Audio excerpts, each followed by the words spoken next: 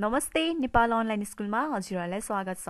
आज हामीहरू कक्षा पाँचको कम्प्युटर विषयको दोस्रो शीर्षक हेर्दैछौँ जुन चाहिँ कम्प्युटर सिस्टम रहेको छ। र योभन्दा अगाडि हामीहरूले कम्प्युटर फन्डामेन्टल जुन चाहिँ हाम्रो पहिलो शीर्षक छ हामी त्यसको बारेमा हेरिसकेका छौँ। र यदि तपाईँहरूलाई त्यसको बारेमा जान्नु छ भने योभन्दा अघिल्लोको भिडियो तपाईँहरूले हेर्न सक्नुहुनेछ है। र आज हामीहरूले चाहिँ कम्प्युटर सिस्टममा हामीले दुईवटा कुरा मेन हेर्नेछौँ जुन चाहिँ इन् इन्ट्रोडक्सन रहेको छ यसमा चाहिँ हामीले कम्प्युटर सिस्टमको बारेमा हेर्नेछौँ। र दोस्रो छ कम्पोनेन्ट अफ कम्प्युटर सिस्टम अनि हामीले कम्पोनेन्ट अफ कम्प्युटर सिस्टम सिस्टममा चाहिँ के के हेर्नेछौँ? इनपुट युनिट हेर्नेछौँ सेन्ट्रल प्रोसेसिङ युनिट हेर्नेछौँ आउटपुट युनिट र अन्तिममा चाहिँ सेकेन्डरी स्टोरेज युनिट हेर्नेछौँ है। हामीहरू सुरुमा चाहिँ इन्ट्रोडक्सन सुरु गर्नेछौँ। इन्ट्रोडक्सन यसमा चाहिँ के लेखेको छ भन्दा चाहिँ computer system is just like human body system अब हामीहरू सम्पूर्णलाई थाहा छ नि होइन? हाम्रो ह्युमन बडी चाहिँ काम गर्नको लागि चाहिँ यिनीहरूको चाहिँ बेग्ला बेग्लै प्रक्रियाहरू र प्रणालीबाट चाहिँ जानुपर्ने हुन्छ। जस्तै हाम्रो डाइजेसन सिस्टम छ जसले चाहिँ हामीलाई के गर्नु मद्दत गर्छ? खाना पचाउनको लागि हेल्प गर्छ। नर्भस सिस्टम जसले चाहिँ हामीलाई चाहिँ के गर्नु मद्दत गर्छ? बेग्ला बेग्लै शरीरको अङ्गहरूमा चाहिँ रगतको लागि चाहिँ केले सञ्चालन गर्नको लागि हेल्प गर्छ। सेम त्यसरी नै के भयो? कम्प्युटर सिस्टमको पनि त्यसको आफ्नै प्रणाली छ है। र कम्प्युटर सिस्टम चाहिँ दुईवटाले बनिएको छ। एउटा चाहिँ हार्डवेयर अर्को चाहिँ सफ्टवेयर। अब हार्डवेयर भनेको चाहिँ के हो? हेरौँ है। र computer hardware is the physical part of a computer that can be touched or felt अब के भने चाहिँ कम्प्युटर हार्डवेयर चाहिँ त्यो चाहिँ शारीरिक बनावट हो क्या कम्प्युटरको जस्तै हामीहरूले के गर्न सक्छौँ? किबोर्ड माउस मोनिटरलाई हामी देख्न सक्छौँ नि होइन? छुनु पनि सक्छौँ नि होइन? तिनीहरू सबै शारीरिक प्रणाली शारीरिक प्रणाली बनिएको कुराहरू चाहिँ के हो? सबै कम्प्युटर हार्डवेयरमा जान्छ। अनि कम्प्युटर हार्डवेयरको कम्पोनेन्टले चाहिँ के गर्छ? आफ्नै आफ्नै काम गर्छ। जस्तै किबोर्डले के काम गर्छ? हामीलाई इनपुट हाल्नुको लागि हामीलाई सहायता गर्छ नि होइन? जस्तै हामीले केही कुरा टाइप गऱ्यौँ भने त्यो चाहिँ हामीले के गर्छौँ? कम्प्युटरलाई चाहिँ कुनै पनि डाटा वा इन्स्ट्रक्सन दिइरहेको हुन्छौँ। माउसले पनि हामीलाई त्यसै गरी इनपुट डिभाइसको रूपमा हेल्प गर्छ र मोनिटरले चाहिँ हामीलाई चाहिँ के गर्छ? आउटपुट डिभाइसको रूपमा हेल्प गर्छ। जस्तै हामीले केही कुरा इनपुट दियौँ भने मोनिटरले डिस्प्ले गर्ने काम गर्छ नि होइन? त्यसले चाहिँ के गर्छ? त्यसले आफ्नै काम गर्छ। त्यसैले चाहिँ बेग्ला बेग्लै हार्डवेयर कम्पोनेन्टहरूले चाहिँ के गर्छ? आफ आफ्नै काम गर्छ है।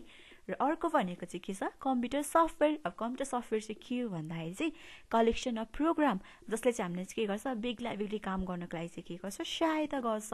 जस्तै हाम्रो के छ? एड अफ फोटोसप फोटोसपमा हामीले के गर्न सक्छौँ? डिजाइन्सहरू बनाउन सक्छौँ।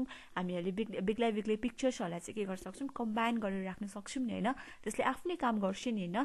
त्यसै गरी एन्टिभाइरस एन्टिभाइरस चाहिँ के गर्छ हामीलाई? हाम्रो कम्प्युटरलाई चाहिँ बेग्ला बेग्लै भाइरसबाट के गर्न सक्छ? जोगाउनुको लागि हामीलाई सहायता गर्छ। त्यस्तै गरी पेन्ट भयो जसमा हामी ड्रइङ गर्दछौँ यो पनि एक किसिमको सफ्टवेयर हो होइन? अनि अर्को भनेको चाहिँ पावर पोइन्ट पावर पोइन्टमा चाहिँ हामीले के गर्न सक्छौँ? हामीहरूले चाहिँ बेग्ला बेग्ली डकुमेन्टेसन डिस्प्ले गर्नुको लागि हेल्प गर्छ। पावर पोइन्टले हामीलाई के गर्छ? प्रेजेन्टेसन गर्नुको लागि हेल्प गर्छ। र यिनीहरू सबै चाहिँ के भयो? सफ्टवेयरमा चाहिँ आउँछ है। र हामीले चाहिँ के कुरा याद गर्नुपर्छ भन्दाखेरि चाहिँ कम्प्युटर चाहिँ दुई तरिकाले बनेको हुँदो रहेछ। एउटा चाहिँ हार्डवेयर अर्को चाहिँ सफ्टवेयर ओके ल अर्को चाहिँ हाम्रो के छ?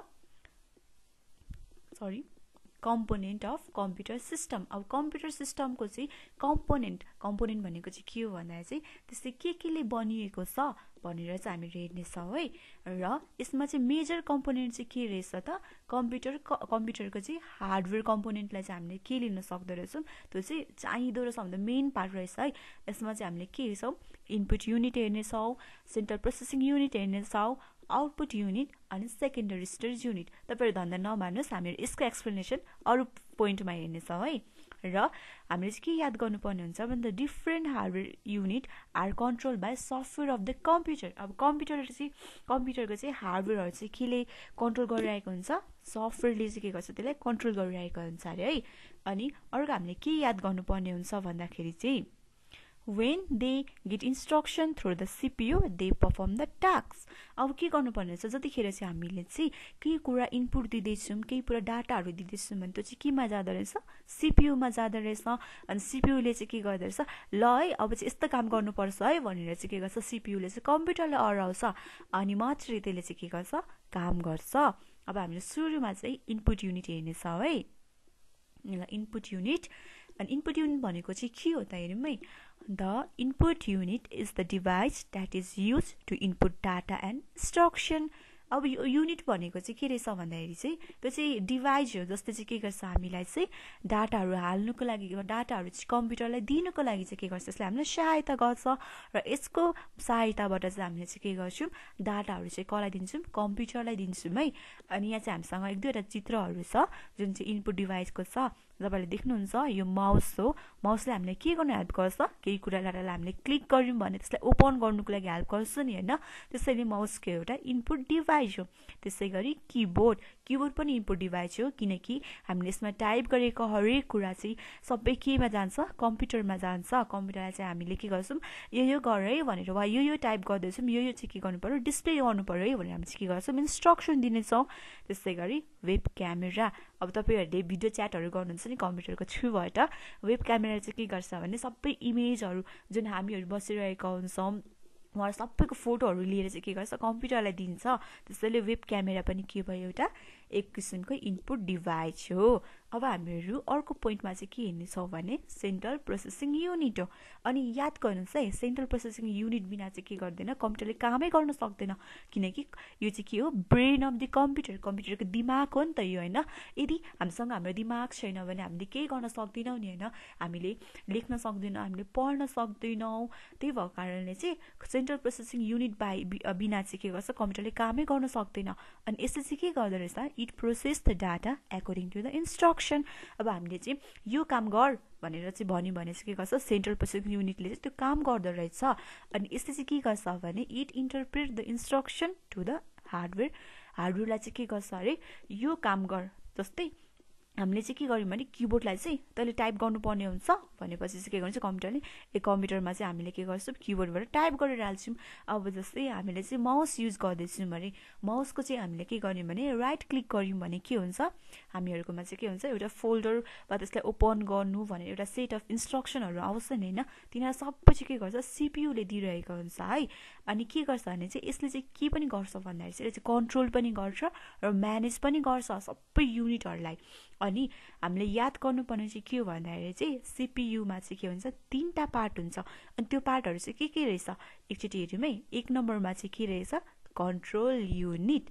अब कन्ट्रोल युनिटमा चाहिँ सिपियुले चाहिँ के गर्दो रहेछ त? यसले चाहिँ के गर्छ? सबै बेग्ला बेग्लै पार्टहरूलाई चाहिँ के गर्छ? कन्ट्रोल गर्दो रहेछ। यहाँ हेर्नु सक्नुहुन्छ यो चाहिँ के हो? एउटा सिपियु हो। सिपियुले चाहिँ के गर्छ? किबोर्डलाई पनि चलाउँछ मोनिटरलाई पनि चलाउँछ माउसलाई पनि चलाउँदो रहेछ प्रिन्टरलाई पनि के गर्छ यसले कन्ट्रोल गर्दो रहेछ। अनि हामीले जे पनि प्रोग्राम प्रोग्रामहरू वा इन्स्ट्रक्सनहरू दिइरहेको हुन्छौँ नि यसले चाहिँ के गर्छ? त्यसलाई चाहिँ दिने ल्याउने काम गर्दो रहेछ है। अर्को छ एरिथमेटिक लोजिकल युनिट त्यो चाहिँ टु नम्बरमा छ। अनि यो यो पार्टले चाहिँ के गर्छ भन्दाखेरि चाहिँ हाम्रो चाहिँ मेन गरी हाम्रो म्याथमेटिकल प्रब्लम्सहरू हुन्छ जस्तै एडिसन सब्ट्राक्सन मल्टिप्लिकेसन डिभिजनहरू चाहिँ के गर्छ? एरिथमेटिक लोजिकल युनिटले चाहिँ के गर्छ? हामीलाई त्यसलाई चाहिँ त्यसमाथि चाहिँ काम गर्नको लागि चाहिँ के गर्छ? यसले सहायता गर्दो रहेछ। र अर्को चाहिँ के छ? मेमोरी युनिट मेमोरी युनिट भनेको त हामीलाई थाहा छ। त्यसले चाहिँ के गर्छ? हामीलाई बेग्ला बेग्लै डाटाहरू वा इन्स्ट्रक्सनहरू चाहिँ के गर्नु के गर्नुको सहायता गर्छ। हामीलाई चाहिँ त्यसलाई राख्नको लागि सहायता गर्छ। अनि हामीले चाहिँ मेमोरी युनिटमा चाहिँ हामीहरू चाहिँ ऱ्याम युज गर्छौँ। ऱ्याम भनेको चाहिँ के हो? ऱ्यान्डम एक्सेस मेमोरी यो तपाईँहरूले चित्र देखिराख्नु भएको छ नि यो चाहिँ एउटा के हो? ऱ्यामको चित्र हो। अनि यसले चाहिँ के गर्छ भने हामीले जे कुरा अहिले भर्खर काम गर्दै गरेको हुन्छौँ नि त्यसलाई चाहिँ स्टोर गर्ने काम चाहिँ कसले गर्छ? यो मेमोरी युनिटले काम गर्छ। र अब अर्को युनिट चाहिँ हाम्रो के छ?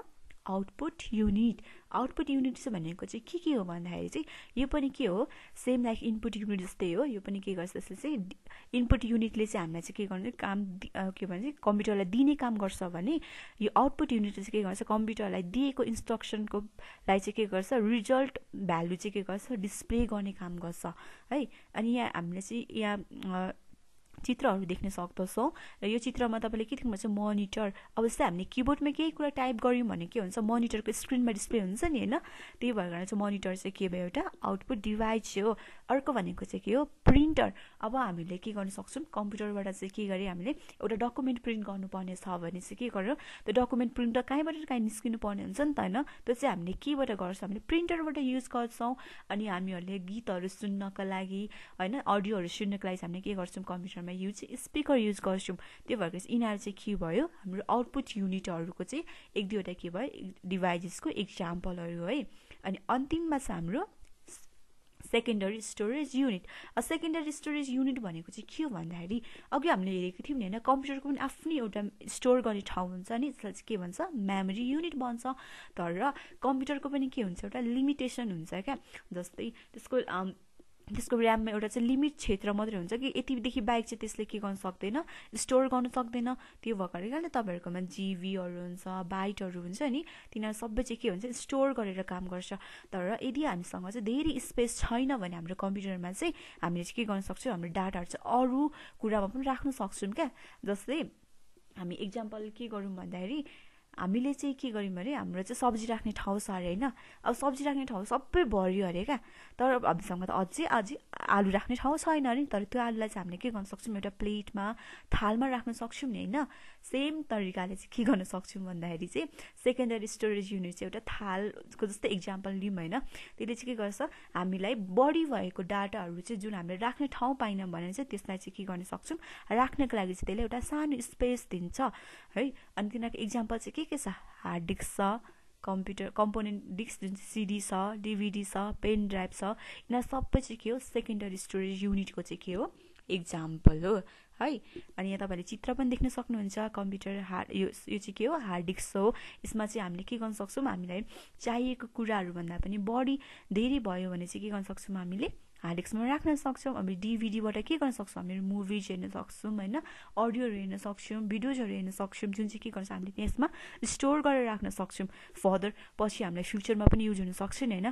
अनि पेन ड्राइभमा पनि हामीले बेग्ला बेग्लै डाटाहरू राख्न सक्दछौँ। अनि यिनीहरू सबै चाहिँ केमा आउँछ? Secondary storage unit. ल भाइ बहिनी आज आजको लागि चाहिँ हाम्रो क्लास यति नै रहेको छ र अब हामीहरू चाहिँ फेरि पनि नेक्स्ट च्याप्टरमा भेट्नेछौँ है। टाटा नमस्ते गुड बाई।